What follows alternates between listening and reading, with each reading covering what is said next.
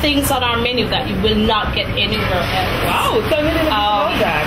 We have an amazing Norma's oxtail wow. that we offer. And funny, it's a local favorite, but then I find a lot of our guests enjoy that.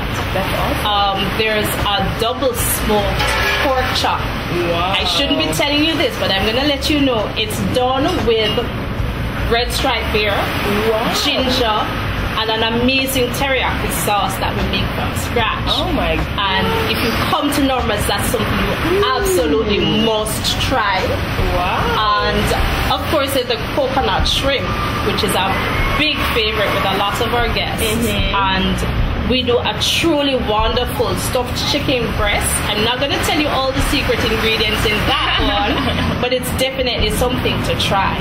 Wow. And for those vegetarian lovers like myself, you have our rasta pasta, which is pasta that's done with ackee and callaloo and a really great coconut sauce. Oh my so god! There's just so, so much to choose from.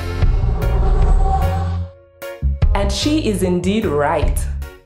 The presentation of their meals served and the tantalizing taste is the true reason to visit.